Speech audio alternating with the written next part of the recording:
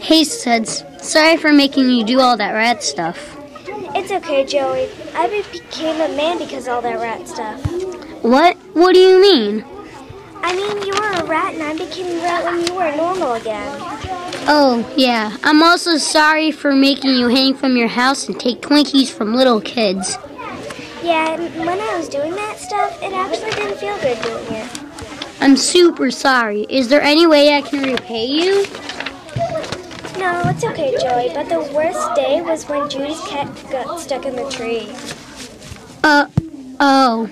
You want to go to the park? But I'm not hungry for Twinkies or pushing kids off the swings.